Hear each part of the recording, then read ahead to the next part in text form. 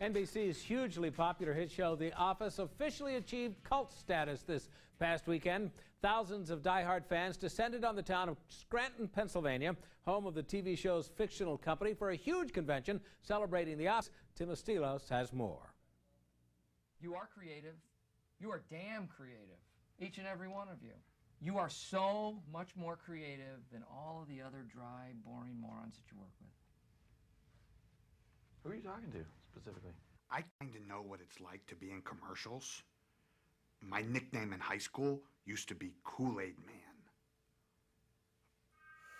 First of all, Angela and Brian, we are so happy to have you here on Backstage. It looks like you're having a great deal of fun there in Scranton. Oh, We're having a great, great amount of fun. The fans here are amazing. Say hi, you guys.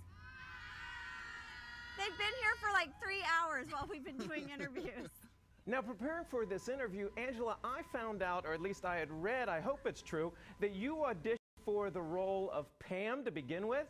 I did. I know it's it's very hard for people to imagine me as Pam, but I auditioned for the role of Pam, and uh, I remember there was a line that um, later when I saw Jenna do it as Pam so perfectly that people felt bad for her. It's when Michael pretended to fire her, and she calls him a jerk, and everyone's like, oh.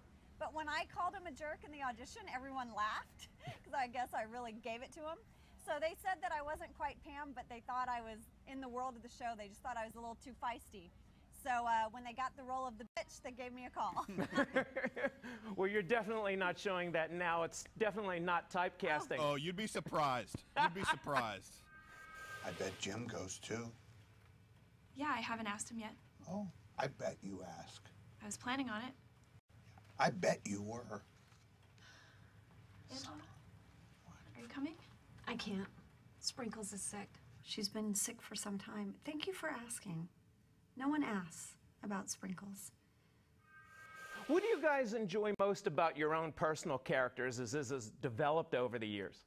Oh, wow. Good question. Um, you know, uh, uh, well, it's, it is an interesting question because I think, you know, in, in a lot of ways, all of the characters have changed have changed a lot, but it's it's part of the it's part of again that the growth, evolving of the, the show. Yeah, the show evolving and having more time that you can explore and look at at all the different characters in different ways, and they can just get more layers, and the writers find different things. It's yeah. it's been it's been exciting to, to watch. What I like about our show is that our characters are complicated. Like Michael Scott isn't always the jerk. Sometimes he's actually a good guy, you know, and sometimes you empathize with him and feel bad for him even while you're hating him.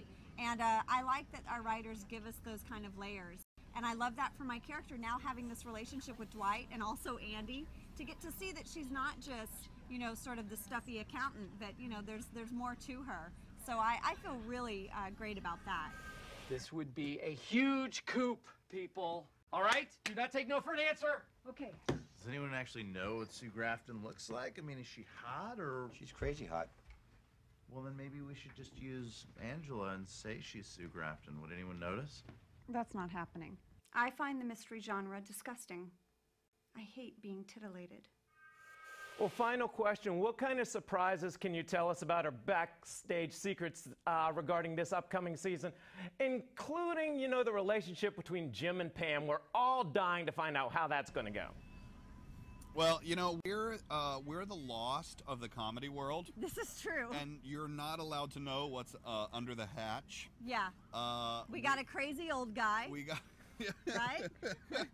and uh, we're very uh, the NBC takes uh, those those things very seriously about the secrets, uh, especially about Jim and Pam. But I can tell you that uh, Jan and Michael's relationship, now that Jan is fired and living with Michael.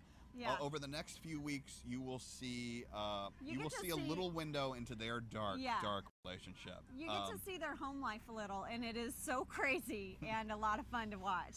Well, I got to tell you, it is a pleasure meeting the both of you. It is truly one of my favorite shows. I look forward to it every week. And I want to thank you for joining us here on Backstage. Thanks so Thanks much. so much. Take care.